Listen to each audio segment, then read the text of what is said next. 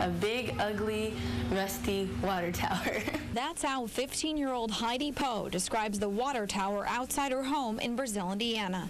For about 25 years, this tower has stood here, but Heidi feels the tower is more of a safety concern than an eyesore. I think it's, it's really easy for children to get in. and know it says no trespassing and there's chains, but there's big gaps between the ground and the fence. Brazil's water superintendent says this tower will be taken down, but not before two towers go up to replace it. We needed change pretty critically. On Wednesday, a groundbreaking ceremony took place at Craig Park. The main tower will go here, the second in the Interstate 70 area. This makes me feel real good because uh, this has been a long time coming. Included in the $6 million project are plans to redo some water lines. It's going to be a big boost for those people down there. We're enlarging the lines and a lot of critical lines that have, we've had a lot of problems with. And for Heidi and her family, they can expect to see this old eyesore go away in about a year and a half.